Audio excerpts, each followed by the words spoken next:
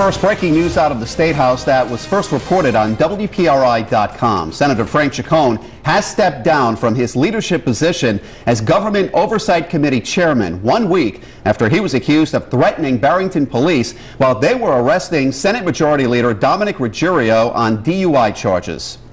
As we first reported earlier, that DUI charge was dismissed this morning after Ruggerio admitted yesterday to refusing a breathalyzer.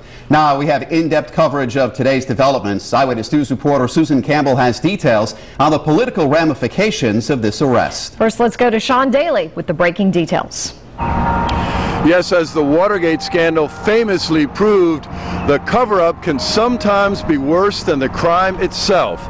Today, here at the State House, a senator accused of trying to intimidate a Barrington police officer is in more political trouble than another senator that the police officer arrested and charged with driving drunk.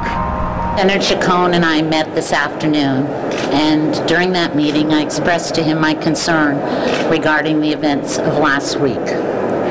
He agreed that the events were regrettable, and he was contrite. He has agreed to step down as the chairman of Senate Oversight and step down from as a member of that committee. He has also agreed to step down from the Committee on Finance. He has um, in light of that discussion, it's my desire to make this statement to you today on behalf of the Senate and to begin to put these events behind us as we move forward on behalf, as we work together to move the state of Rhode Island forward. Thank you very much. Wait, wait, wait, Madam, Madam President, At this time, I would prefer not to make any further statement. is it embarrassing, Mayor, Oh. that a fellow No doubt. politician from North Providence is in this pickle? Absolutely. Absolutely. Have you spoken with Senator Ciccone No, since I- this happened? No, I haven't. If you could, what would you say? I would probably, uh, you know, tell Senator Ciccone uh, he should be ashamed of himself. For his part, in a statement, Senate Majority Leader Dominic Ruggerio wrote, quote, I accept full responsibility for my actions last week. I am putting this incident behind me. Live at the State House with the Providence Mobile Newsroom, Sean Daly, Eyewitness News. We have in-depth coverage tonight. Former State Police Colonel Brendan Doherty announced today that he is returning the money that Ciccone donated to his congressional campaign, despite declaring he would keep it just two days ago. Eyewitness News reporter Susan Campbell joins us live now with details. Susan, I just spoke with Brendan Doherty. He tells me he was not influenced by anyone or any media reports in making that decision to return Senator Ciccone's $1,000 campaign contribution. Republican Brendan Doherty is now returning a $1,000 campaign donation he received from State Senator Frank Ciccone.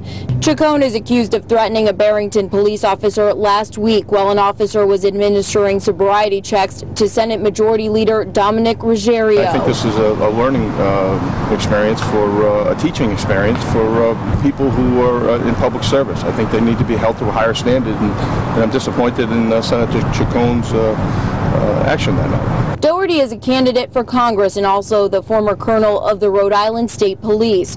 On Monday, we reported Doherty had decided to keep the campaign contribution from Ciccone, but he now tells Eyewitness News he changed his mind after receiving new information from Barrington Police. I, I needed to look at all the facts, and I assessed that for a, a couple of days, and I, I determined uh, last night, uh, on Tuesday night, uh, to uh, return the uh, campaign donations uh, of Senator Frank Ciccone. This was my decision.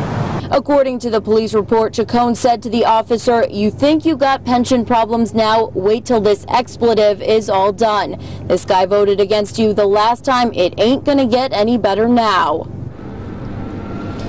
Ciccone has not spoken publicly about the allegations that he threatened Barrington police, but he has apologized for any inappropriate comments he might have made. And now, of course, we know that this incident has cost him his leadership role.